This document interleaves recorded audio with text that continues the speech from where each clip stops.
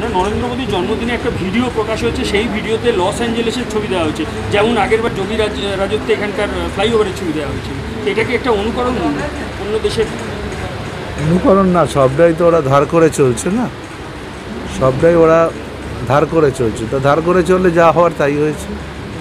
যদি আগের দিন উত্তরপ্রদেশে যে ছবিটা দেখা হয়েছে মা ফ্লাইওভারের ছবি দেখানো হয়েছে। কিন্তু লস অ্যাঞ্জেলেসের ছবি দেখাতে হচ্ছে আজকে।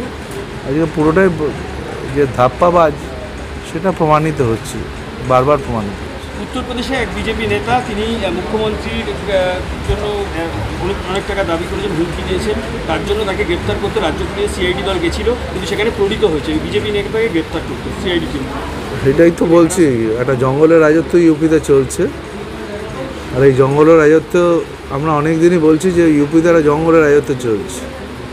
পুলিশের গায়ে হাত দিয়ে দেবে পুলিশকে ধরে আসামিকে ধরতে গেলে মার দেবে। এটা উত্তরপ্রদেশ বলেই সম্ভব সেখানে অনেক দিন ধরে এই ধরনের কাজ চলছে। কখনো মেয়েদের জ্বালিয়ে দেওয়া হচ্ছে কখনো পুলিশের গায়ে হাত দেওয়া হচ্ছে। এসব হচ্ছে সেই জন্য তো বলছি। বাংলা আর অন্যদের তফাৎটা এটাই মানুষ। বিশ্বভারতী উপাচার্য অনুব্রত মণ্ডলকে নাম না করে বলেছে অনুব্রত মণ্ডল তো খুবই পপুলার লিডার ওখানে। বিশ্বভারতী উপাচার্য কোনো কাজ নেই, সে সারাক্ষণ একটা বক্তৃতা করে ঘরে ঢুকে যায়।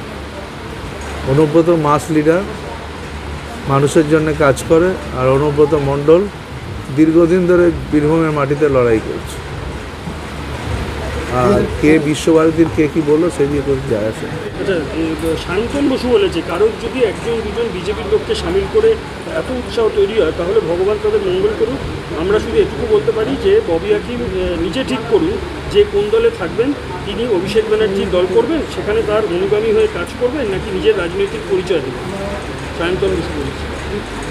যার কথা বললেন সে আজ অব্দি নির্বাচনে কোনোদিন দাঁড়ায়নি কোনোদিন যেতিও। সব অবান্তর কথার কোনো উত্তর দেওয়ার প্রয়োজন মনে করি না।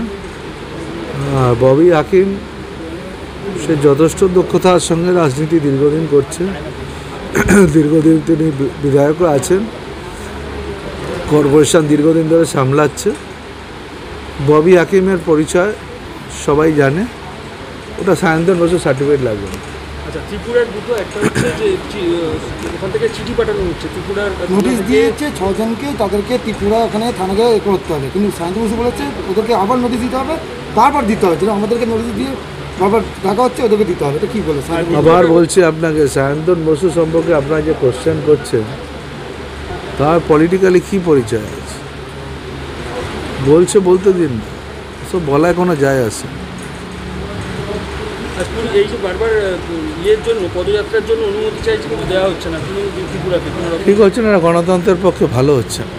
এটা ডেমোক্রেসির পক্ষে ভালো না। কারণ গণতন্ত্র প্রত্যেক দলেরই মিছিল করবার অধিকার আছে। এটা দেওয়া হচ্ছে না, এটা ঠিক হচ্ছে।